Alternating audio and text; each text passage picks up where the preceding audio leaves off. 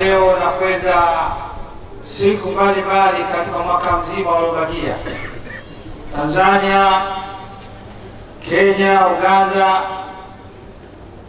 Afrika Mashariki na Kati, Mashariki ya mbali, Indonesia, Malaysia, Sharq al-Awsat, zote zinamsherehekea Mtume Muhammad. Mimi maneno yangu dakika tano, kama zitazidi saba, nakwambeni hiyo mkaifikiri, muifanyie kazi. Kwa nini Mtume sallallahu alaihi wasallam kapata ushindi kiasi hiki cha dunia nzima kwa miaka ishirini na tatu? Sa hilo ndio ulifanyie kazi. Mambo mawili, kwanza alimtegemea Mwenyezi Mungu katika hali zote na alielekea zaidi akhera kuliko dunia. Aliambiwa mambo matatu, chagua unalotaka. Aliletwa malaika mshika funguo za pepo Ridwan na ufunguo wa dhahabu mrefu, akaambiwa nimepewa ufunguo huu hizi ndio mali zote za dunia, khazainu dunia. Katika hizo kuna almasi, ukitaka tanzanite, jauhar, kila kitu. Mali yote ya dunia hii ni yako, kama ukitaka sema sasa hivi. Akasema mimi sitaki akaamua kulala katika kitanda cha kamba cha kukaza. Hili mlitufanyie tathmini. Aliikataa dunia, akalala katika nyumba ya tope. Ukisimama mkono wako hivi unagusa dari. Baada ya dhuhuri, akiamka mbavu mgongo wote umeota kamba za kitanda. Huyu ndio aliopewa funguo zote za mali ya dunia. Ndio tukasema huyo ndio sufi wa kwanza kuliko masufi wote, na Mtume alikuwa sufia. Maanake nini? Akielekea akhera zaidi kuliko dunia, ndio maana kisufi. La pili, akaambiwa chagua uwe mtume mfalme au mtume raia. Akasema mimi mtume raia, raia wa kawaida. Akija katika majlisi yake, angalia, nikwambia, raia wa kawaida. Bwana Mtume saa sallam akuja mzee katoka shamba viraka, anasimama sallallahu alaihi wasallam, anatoa kishali chake, anamtandikia, anamwambia kaa hapa marhaban billadhi addabani rabbi. Mmesoma abasa. Anakuja mtu kusilimu ana miaka themanini, kabebwa machela na Sayyidina Abubakar yaumul fathi.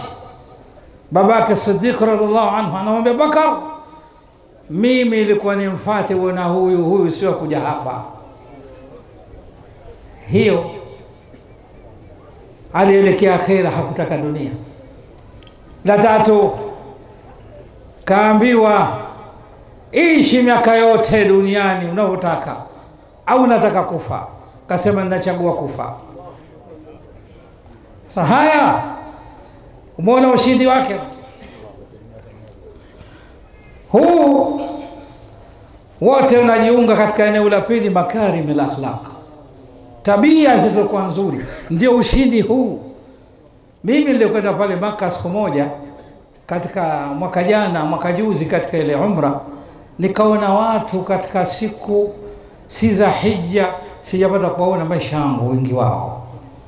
Kasema mtu mmoja kaja duniani peke yake na dunia yote walikuwa makafiri. Vipi Maka imejaa kiasi hiki na baki Indonesia na Malaysia na watu amesimama siku ya Badr akamwambia, intuhlik hadhihi alisaba lan tubada fi lardi abada, ukiwaangamiza hawa mia tatu kumi na tatu siku ya Badri mwezi wa Ramadhani, hutoabudiwa maisha. Huu ni ushindi wa Mtume Muhammad. Hayo ndo ujishipambe wewe, tabia zako ziwe hivyo. Alijishusha, hakujipandisha hata siku moja. Yaliletwa maziwa katika halaka yake na watu wote wana njaa, akashika mkononi na sana Abdullah ibn Abbas alikuwepo, hibru hadhihi lumma, akamwambia hata adhani li ya ghulam, unanipa ruksa mimi? Sana Abbas akatolea na miaka kumi na mbili. Anamwomba Bwana Mtume, anamwomba yule mtu, unanipa ruksa mimi niwape hawa watu maziwa? Tizame namna gani akijishusha. Kiongozi yoyote akitaka mafaulu na kushinda na ushindi dunia hii, wala simkusudii mtu, lazima ajishushe kama Mtume Muhammad alipokuja Abdullah ibn Ummi Maktum, wote mnajua sababu ya abasa watawalla بعد أن وما يدريك لعله يزكى. عبس وتولى أن جاءه الأعمى. بعد هابو أكيد سكوزوت متوم يا كسيماما كوكيبوف مسكين فقيري أم تاندكيا كشالي شاكي. دوكم مرحبا بالذي أدبني ربي. كريم كريم كولي أمباي مونغو ميمكن فنشا حشما أداو anakuja.